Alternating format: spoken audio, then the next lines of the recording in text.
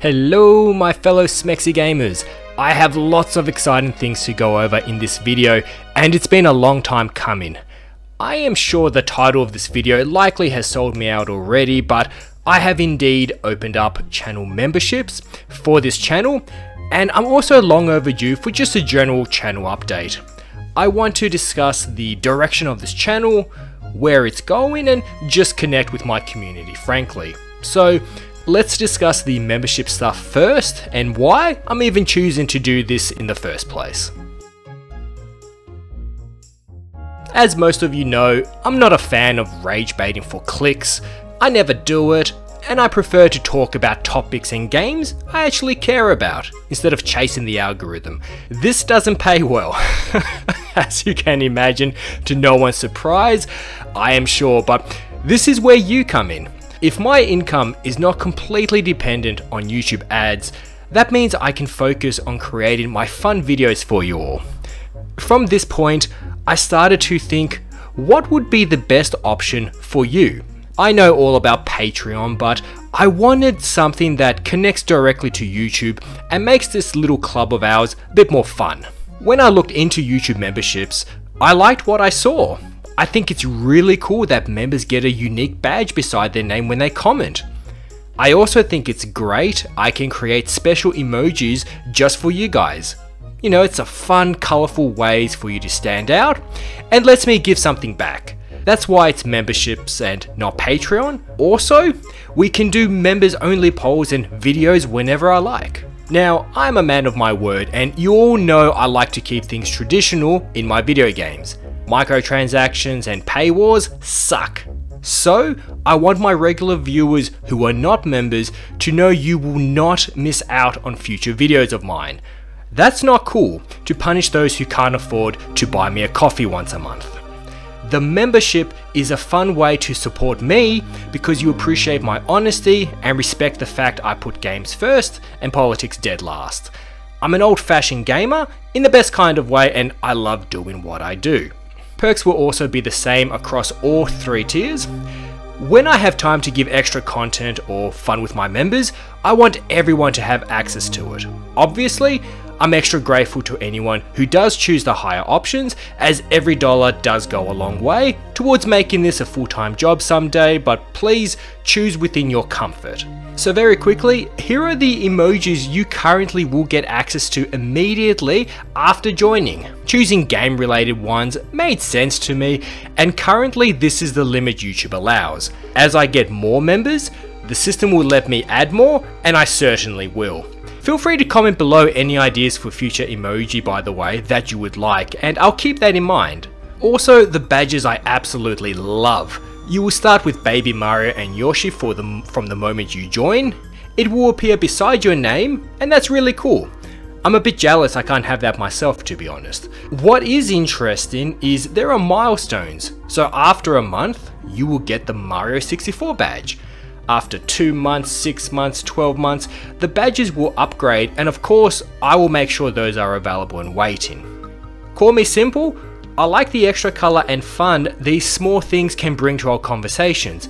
Okay, that's the membership part done. If you clicked on the join button and joined up, please comment below so I can see your shiny new badge and how the emojis look.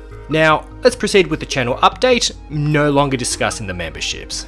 So I've been wanting to do a channel update ever since we finally cracked the 5000 subscriber mark and somehow we have blasted right through that and are already more than 6000. Oh my goodness, you smexy gamers rock. Thank you to all the new subscribers for joining my little club. And of course, thank you to all my pre-existing subscribers who have been chatting with me for years up until this point already. I always get excited when I see those familiar names pop up in the comments section, I have not forgotten any of you. I also would like to address the fact I have stopped putting my face in my videos.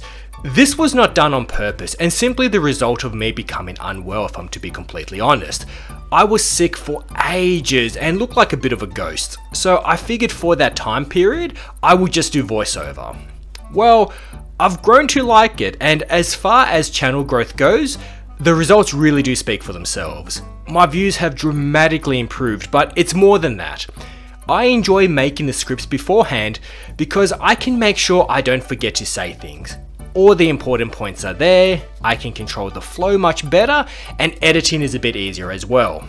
As you all know in the comment section, I'm still just as bubbly and interactive as always, so even if you're not seeing me personally, we will still have our many fantastic chats in the comment section below.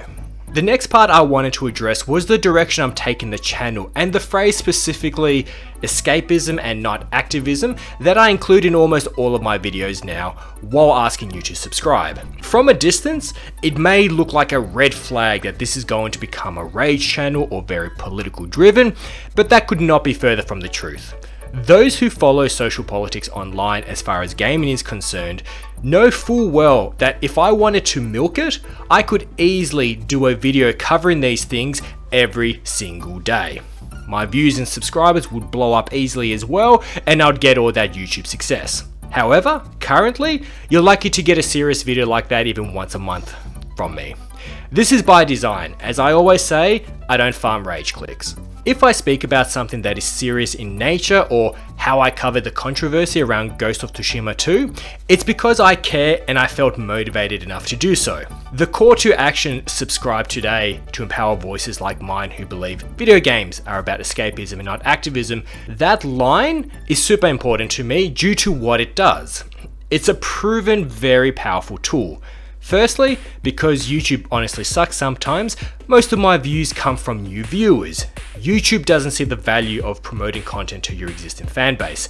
This means that many people have never heard or seen me before. So when they come across my content for the first time, when I say that line, escapism, it lets newcomers immediately know where my values lie and what sort of content they can expect. I've always connected with my fellow gamers. My friend groups are literally the results of me tracking down every nerd I could find in high school.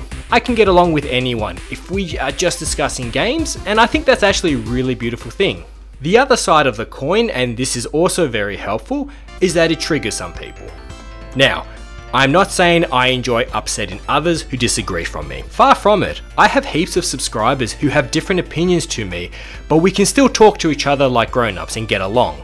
Anyone who gets triggered so much that they immediately leave the video and not before leaving an angry comment or stating they will now not subscribe is someone I don't want as part of my community. Not because they dare think differently to me, but because of the entitlement and anger they bring. Why must we agree on everything? Why can I now see them attacking other commenters? It also means that at some point in the future, they will unsubscribe anyway, since it's so easy for them to get upset. So the line attracts gamers who are capable of having adult conversations, while also at the same time filtering out those who want to talk at me instead of with me. Awesome, that actually sounds good to me. As for my content, it will remain the same. I have no niche. I love my retrospectives and reviewing all PlayStation 1 and PlayStation 2 games. So I will continue to do that. I love my survival horror games. The Evil Within 1 video is doing great, and I've already restarted playing the Evil Within 2, so expect a video on that at some point. I will continue to also do my comparison videos, like I did with Soul Reaver, with Croc, with Jedi Power Battles, and the newly announced Tomb Raider remasters. I will continue to do random deep dive videos as well, where I have some serious stuff to discuss, and more importantly, I will stay true to myself and talk about what excites me. I can't limit myself to just one area because the YouTube algorithm likes it. I'm a gamer, darn it. We like more than one type of game. That's why I've opened up memberships on gaming my whole life, so I can just focus on fun games and bringing out quality content for you all. Plus, you can cancel the membership at any time anyway. Apologies if I have missed out anyone in the comments section.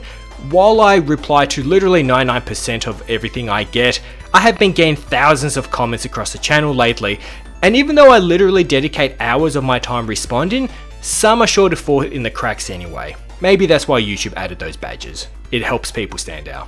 Anyway, I've kept you long enough. Channel updates are pretty rare, so I wanted to fill this up with as much as possible. Remember, it's totally cool if you can't become a member. But if you can, obviously, I'm so darn grateful and it means more than I could possibly tell you. Thanks for watching, God bless you all, and I'll see you for the next random fun video that I produce.